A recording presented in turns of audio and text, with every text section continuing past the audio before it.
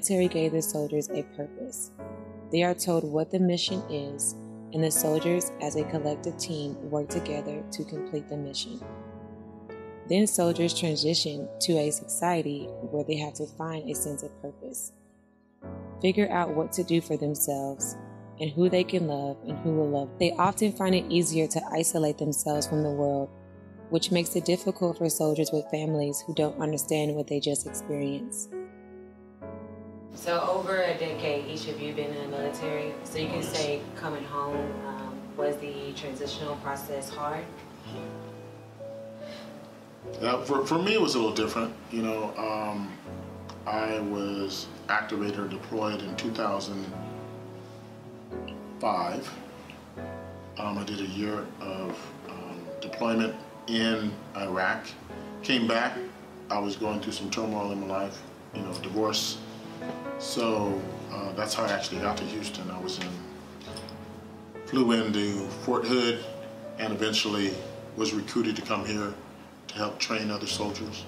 So the transition wasn't that difficult because I still had my active duty life. I think if I would have come off active duty and gone to civilian world, it would have been a lot different. But fortunately for me, it, it wasn't that bad. It was actually a blessing in disguise because I had the active duty, and then as I retired, I, I, was still involved in the civilian world, so it, was, not too bad for me. It was it was a transition, but it wasn't as hard as it could have been.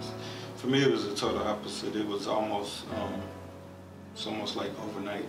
One minute you're serving and you're doing your job, something that you love, and then the next day you're out and you're lost and you don't know what to do because uh, I was actually injured in Iraq um, twice, and then the second time was when it was pretty much it was a wrap. So for me, I came home with like no clear agenda, no thought of uh, what I was going to do and how I was going to do it. It was just kind of like, all right, thank you for your service. You're free to go. And so, did you gentlemen um, suffer with any issues coming home? Oh man, where do we start? Uh, for me, I think the biggest thing for me was like. Anxiety, PTSD, of course. Um, being injured, I have a traumatic brain injury, nerve damage, and things like that. But a lot of anxiety. Um, I really didn't trust a lot of people, uh, especially because when I would talk about being in the military, it always came back to, you know, oh, how was it over there? Was it, you just like it was on TV? Did you kill anybody? Did you kill anybody? um, if so, how did you kill him? Or did you see Saddam? And, you know, just all of these different things because I, I, went to Iraq. Um, so for me, it was a lot of that, uh, almost kind of being, um, I was very reserved, almost to the point where it was like I didn't go anywhere, didn't want to talk to anybody other than like my wife and kids and certain family members and stuff because they're prior military service. And for me, I had some of the same PTSD issues. Um, I was a combat commander in Iraq, and so I happened to lose just one soldier of 128 and that was just catastrophic for me because I would I made a deal with myself. I'm taking these soldiers in. We're going in. We're doing our job. And we're all coming home. So that played a big part in terms of my PTSD and my anxiety and my guilt that I felt in terms, uh, and it carries to this day. And it's it's been you know 13 years, almost 14 years. So um, I had those issues to try to get over. Um, of course, my family dynamics had changed. I had kids.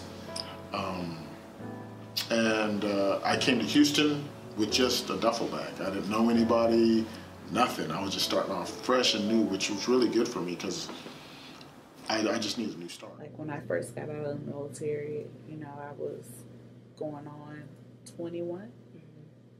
So to get out and try to go be like to get service at the VA yeah. hospital, and you have all the other veterans looking at you like, where did you serve and why are you here? And you know, this is for veterans and they think and look at you like just because you served and you were younger that you don't necessarily qualify as being a veteran. And it's just like I served just like you served. So just because my age is different, not knowing, I went into the military when I was 17. So just because I'm younger and I get out and go and seek treatment at the VA hospital, I have every right, just like everyone else. Um, so that was one of the things that I ran into. Um, after being treated like that a couple times at the VA, then I stopped going. And I didn't receive any treatment for close to five or six years from the VA. After you came out? After I came out. I went a couple times and the looks that I was getting, even when one of the doctors made the comment, like you should have you should be working. You should have health insurance from another provider. Why are you using the VA? Like it just left me feeling like, okay, maybe I just shouldn't use the VA. And I stopped going. And then I ended up getting a job and I had health insurance through that job. So it just really made me just really like, okay, I don't want service.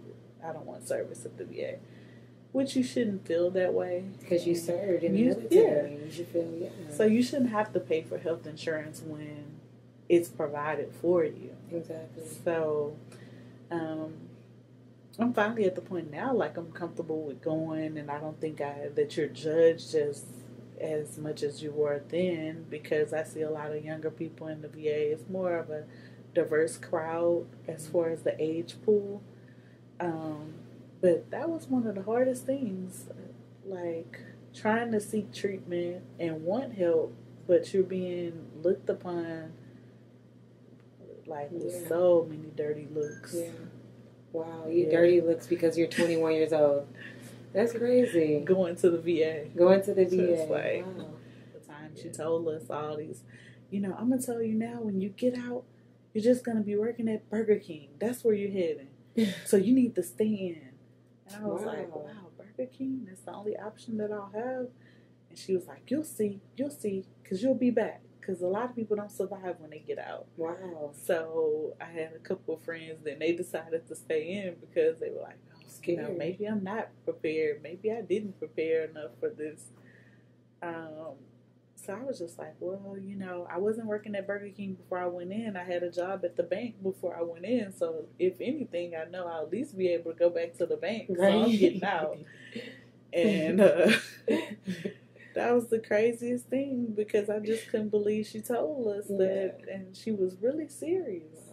Um, so I got out, and when I first got out, um, I took like six months off. I didn't work because I had a, a, my daughter was like six months, so I just stayed home and I went to school online, and um, that's pretty much how I did my transition when I first got out. Wow. So they, so they, do they try to keep you in the military? Is that what it is? Uh, at the time, yes. At the I don't know how it is now, but at the time they do a lot of threats, and it's not a good way of keeping you in. It's just like uh, you That's know, crazy. you're not gonna survive.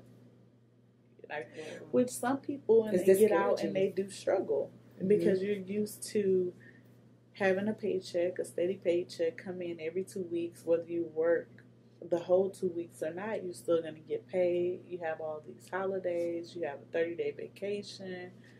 So, you know, it's up to you to decide okay, what's more important? Do I want to get out? Do I want to stay in? But it's no one there um, to really help you come up with a plan and be like, okay, you're getting out. You know, like myself, if I was would have had someone helping me, I should have came up with a plan like six months before I got out to already be in school and have my military benefits starting up by the time I got out. But you go to TAPS class, I went like a week before it was time for me to get out. So They you help you with your resume, and that's it. It's no job skills. It's no let me help you. Okay, you were a quartermaster in. Let me help you find a job that's in that field. Now maybe things have changed now, but when back then, no, it was not. It was just like, okay, you're out. Figure it out. When a soldier comes home to their family, they often feel misunderstood. They have to adjust to the family's routine and figure out how they fit in. Soldiers who don't have a support system find it easier to live as if they are still in the military. They will sleep outside on the street, they will sleep in the woods, or they'll make a home far away from people. Some soldiers feel becoming a civilian is another war they don't want to endure.